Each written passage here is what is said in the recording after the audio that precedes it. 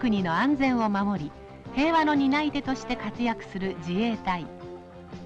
昭和62年もまた自衛隊は国民の理解と協力のもと着実な歩みを続けました。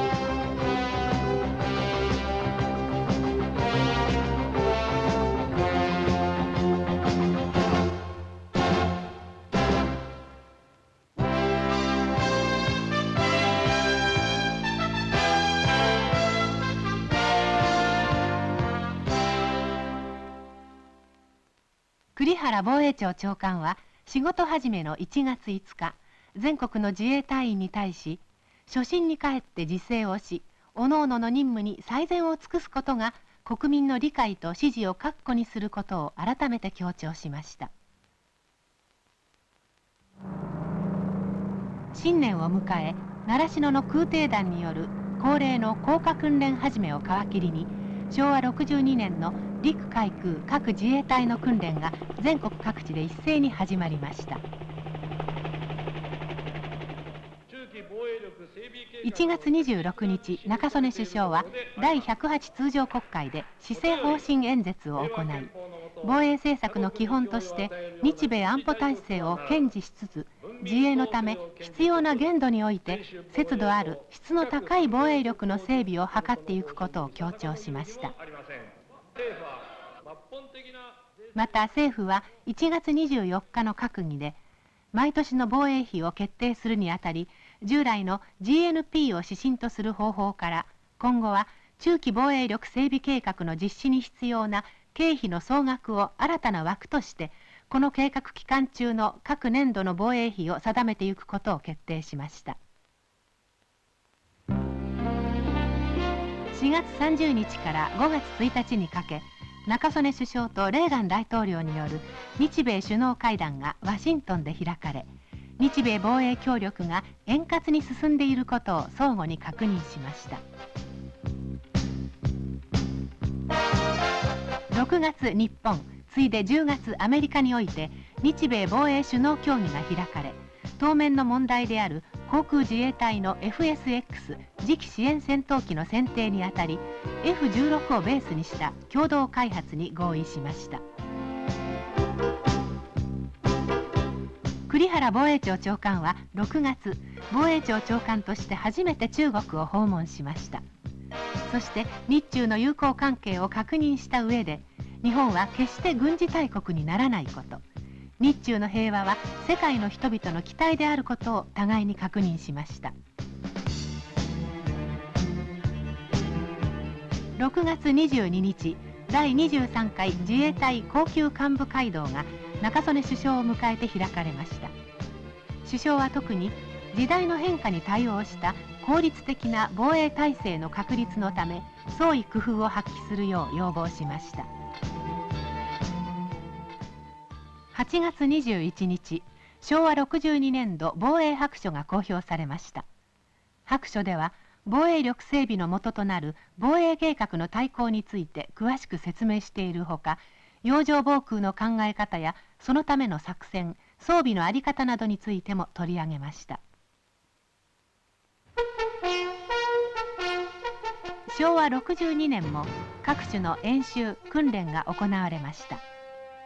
陸上自衛隊の主な演習訓練として北方機動特別演習が今年は中部方面隊の第10師団を中心に7月から8月にわたって中部方面隊地区から北海道に至る間において大規模に展開されました。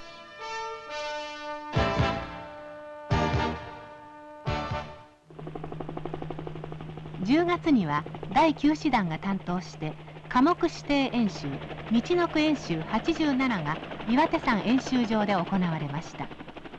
今回の指定科目は昨年に続き耐着上陸作戦で徹底した陣地や障害の構築による防御戦闘について訓練しました。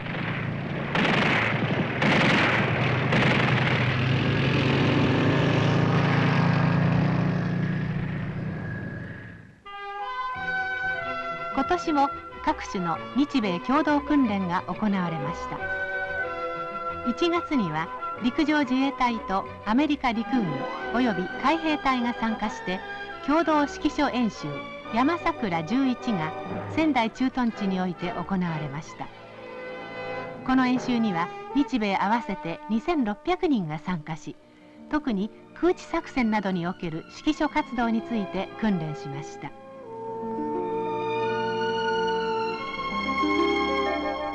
また日米共同による実動訓練が日本の各地で行われました。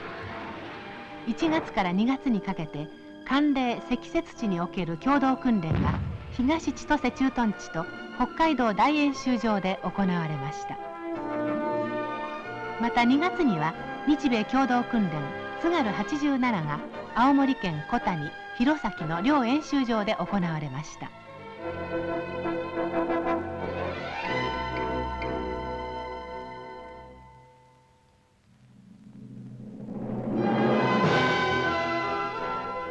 11月には大分県比重大演習場などで西部方面隊では初めての日米共同訓練鎮西87が行われました。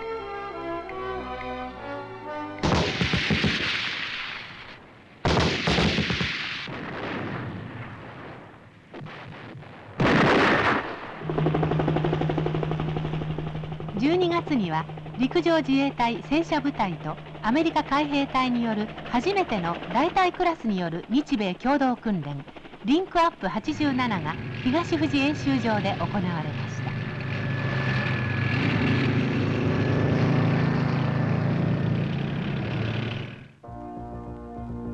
海上自衛隊の主な演習訓練としては2月海上自衛隊が保有する全輸送艦7隻による輸送艦合同訓練が伊豆大島沖において行われました。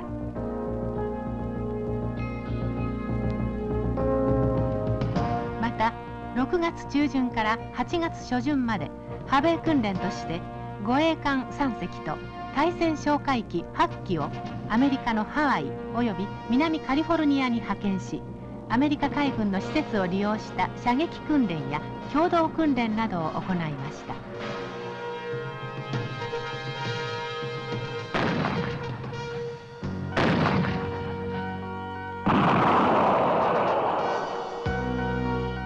62年度遠洋練習航海部隊が6月12日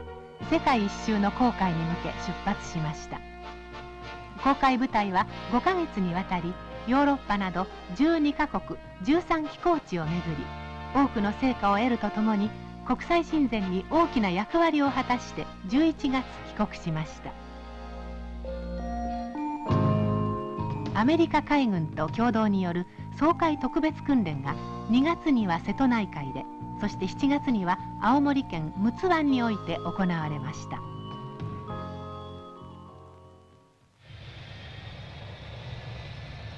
航空自衛隊では5月千歳及び三沢において日米共同実動訓練が行われました。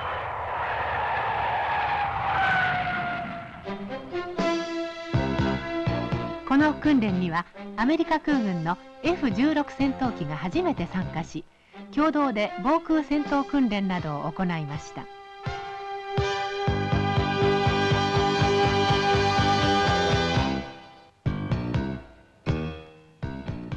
月下旬から10月中旬まで62年度の航空自衛隊総合演習が日本全土と周辺空域で行われました。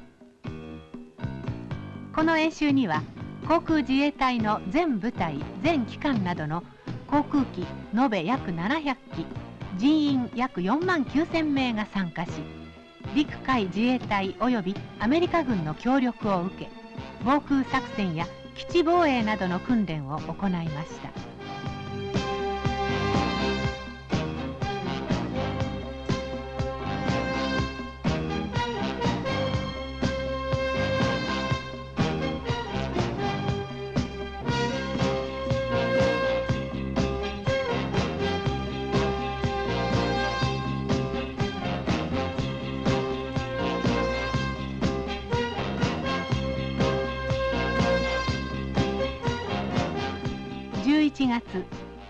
総体射爆撃協議会が千歳基地などで行われました。この協議会は各部隊の戦闘能力の向上を目指して1年に1回行われるもので今回が25回目となります。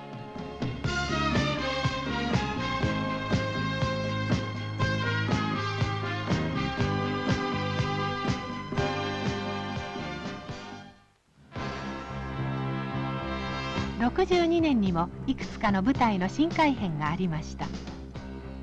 陸上自衛隊では62年度から逐次師団を改編し特化連隊から校舎特化大隊を独立させるとともに武器隊補給隊輸送隊及び衛生隊を統合して後方支援連隊を新しく編成することになりました。海上自衛隊では2月20日付で第3護衛隊軍に護衛艦島行朝行2隻からなる第45護衛隊が新しく編成されました。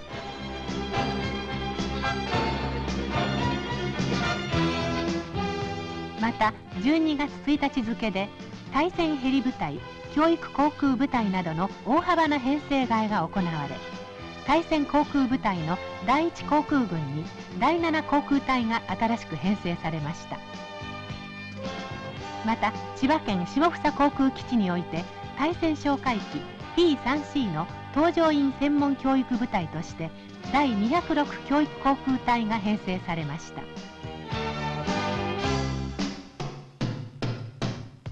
航空自衛隊では3月31日秋田分屯基地に秋田救難隊が新しく編成されました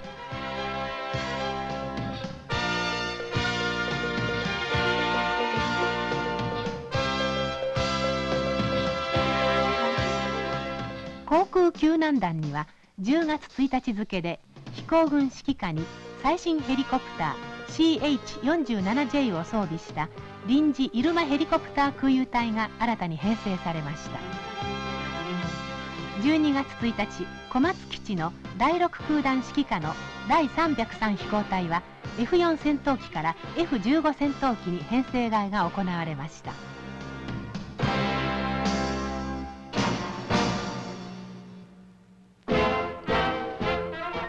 62年には海上防衛の担い手として多くの自衛艦が誕生しました。護衛艦島風。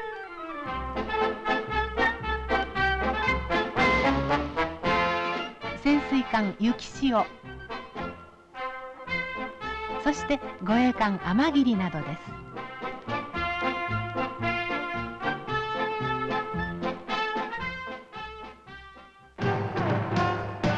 3月22日防衛大学校の卒業式が行われました。晴れの卒業証書を手にしたのは第31期本科学生435名と第24期理工学研究科学生61名です。中曽根首相は21世紀を目指して羽ばたこうとしている諸君は強い使命感と実行力を持った真に国民と共にある幹部自衛官となってほしいと訓示しました。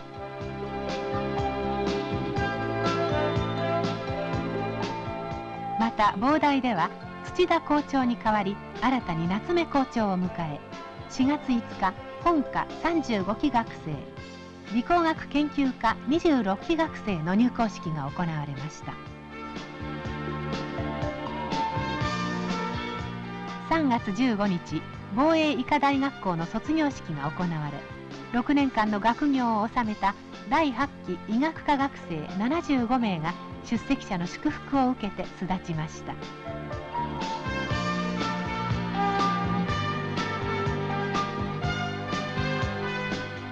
また入校式は4月12日行われ競争率およそ50倍の難関を突破した78名の新入生が入校しました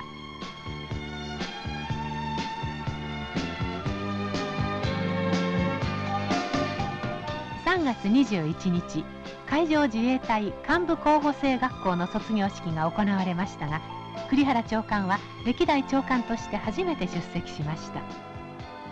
長官はさらに4月1日の陸上自衛隊4月2日の航空自衛隊各幹部候補生学校の入校式にも出席しました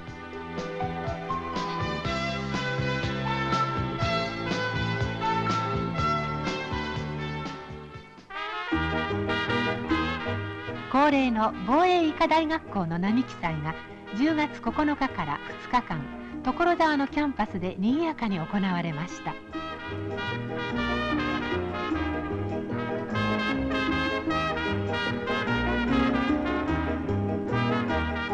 防衛大学校の開校記念祭は11月15日から4日間横須賀のキャンパスで行われました。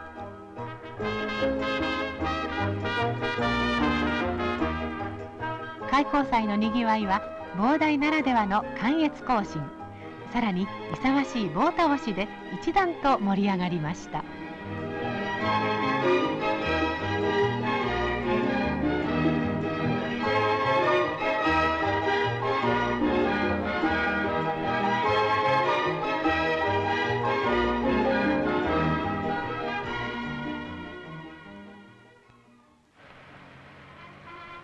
国交品の来日などに際し防衛庁では陸上自衛隊第302保安中隊及び中央音楽隊による特別儀仗を行っていますがこれは9月23日公賓として来日した太王国の皇太子殿下です。また昭和62年には数多くの外国軍高官が防衛庁を訪れました。スウェーデン王国空軍司令官韓国陸軍参謀総長。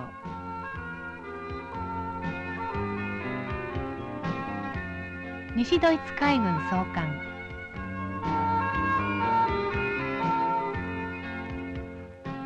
アメリカ太平洋軍司令官。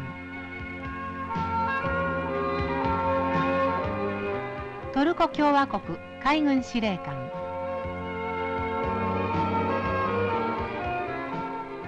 そして韓国合同参謀会議議長などです。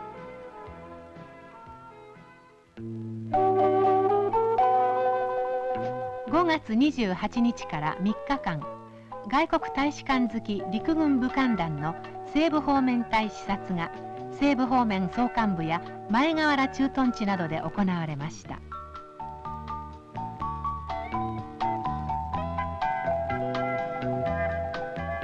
一行は舞台視察の傍ら日本の文化についても見学しました。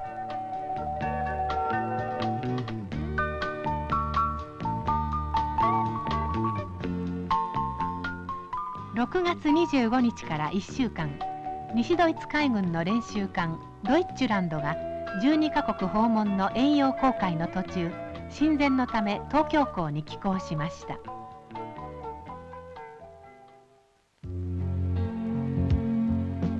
62年においてもいろいろな人の動きがありました。6月23日付で矢崎事務次官が離任。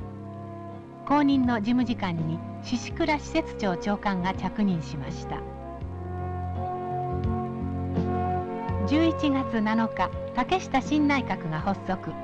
これに伴いおよそ1年3ヶ月その任にあたった栗原長官は離任しました。代わって新たに第44代の防衛庁長官として河原勉衆議院議員が着任しました。そして11月10日森政務次官が離任し第42代政務次官として高村正彦衆議院議員が着任しました。着任早々の11月19日河原防衛庁長官は航空自衛隊百里基地を視察しました。また陸上自衛隊練馬駐屯地海上自衛隊横須賀基地も視察しました。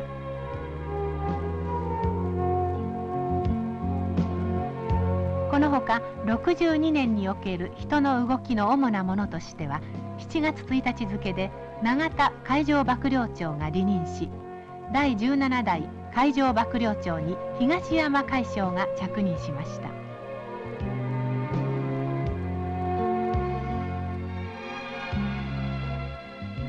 また12月11日付で森統合幕僚会議議長が離任し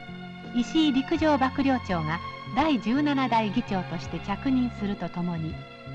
同日付をもって第21代陸上幕僚長に寺島陸将が着任しました。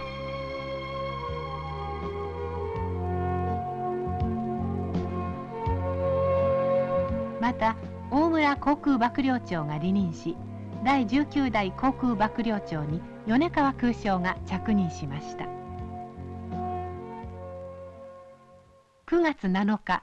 日米安保体制の基礎を築いた故岸信介元首相の葬儀が日本武道館で行われ多くの自衛隊員が列席しました。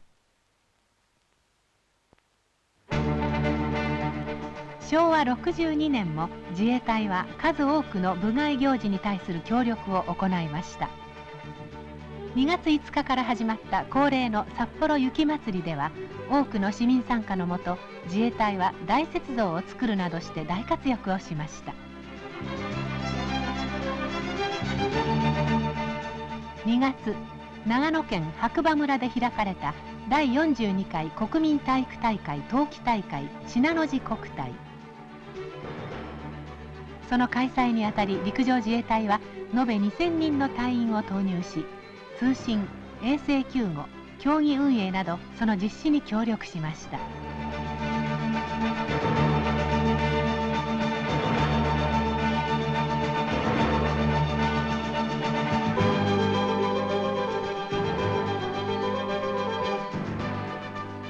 から8月にかけて静岡県御殿場市の小田急ファミリーランドを会場に防衛博覧会が防衛庁の公園で開かれました。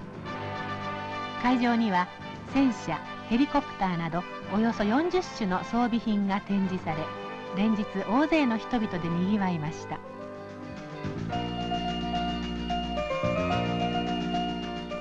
夏の夜を彩る祭りや盆踊りが全国各地で行われましたがこれは有名な仙台の七夕祭り。このほか青森のねぶたや秋田の関東祭りなどの各地の行事にも自衛隊が協力し地域社会との交流を深めました。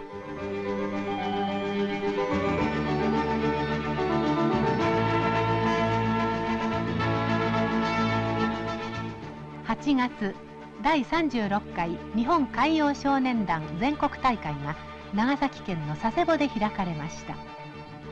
陸上並びに海上自衛隊は開会式パレードをはじめ競技運営通信あるいは艦艇登場など多方面にわたって協力しました。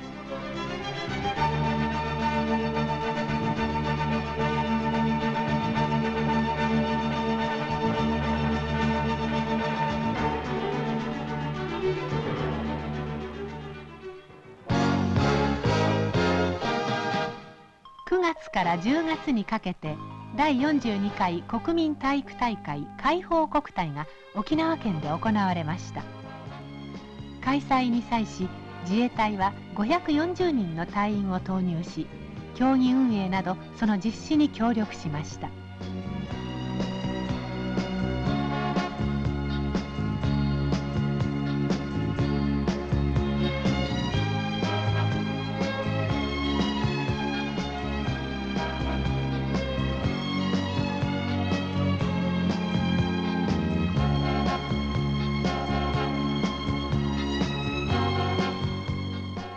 ちの夏休みに合わせ各地の駐屯地などでは小中学生を対象にちびっこヤング大会が開かれキャンプ教室や各種スポーツ大会など地域の子どもたちと自衛隊との楽しい交流でにぎわいました。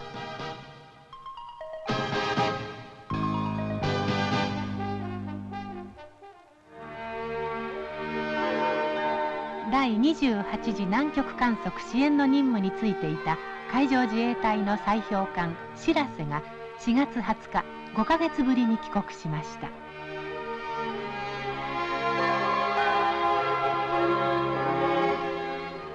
そして11月14日には日本初の女性隊員を含む第29次南極観測隊を乗せ東京晴海から南極に向け出港しました。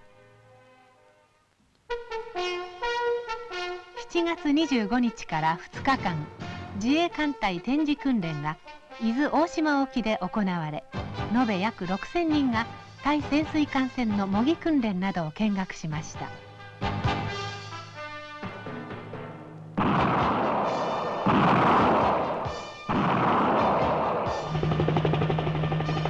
防災の日の9月1日各自衛隊は大規模地震発生に備えた対処訓練や総合防災訓練に参加し物資輸送患者空輸消火訓練などを行いました。東京晴海の訓練会場には中曽根首相が訪れ自衛隊の訓練ぶりなどを視察しました。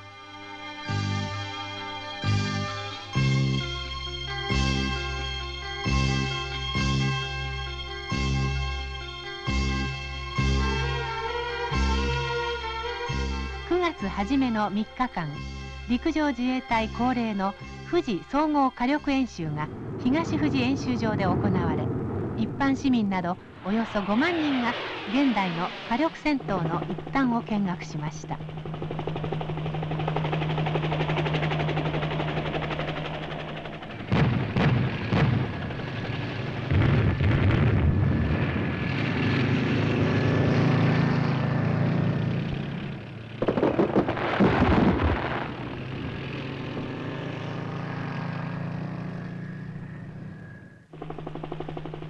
また10月3日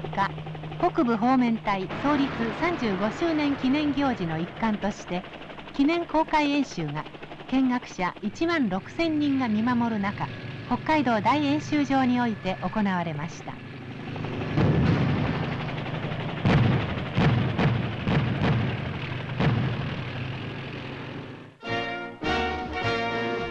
自衛隊記念日の11月1日62年度中央関越式が朝霞訓練場で行われました。関越官の中曽根首相は諸君は国防という地味だが崇高な使命を自覚したゆまぬ研鑽と挺身をもって盛況な自衛隊を作ってほしいと訓示しました。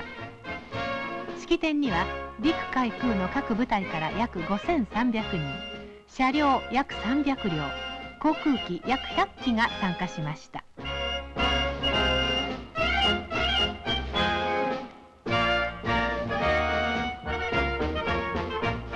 続く11月3日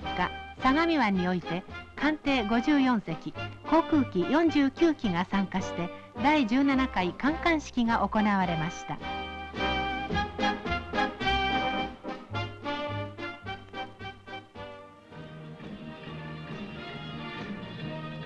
恒例の自衛隊音楽祭りが11月20日と21日の両日日本武道館で開かれ会場いっぱいに音と色彩と若々しい躍動美を繰り広げました。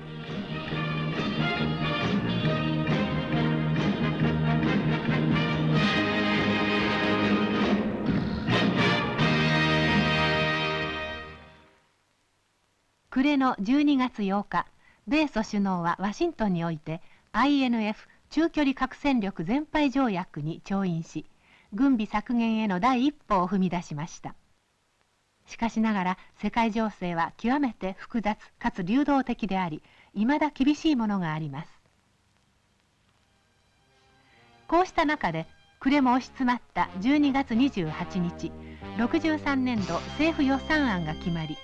防衛費については中規模の着実な実施とより質の高い防衛力の整備のため前年度比5.2%の増加が認められました。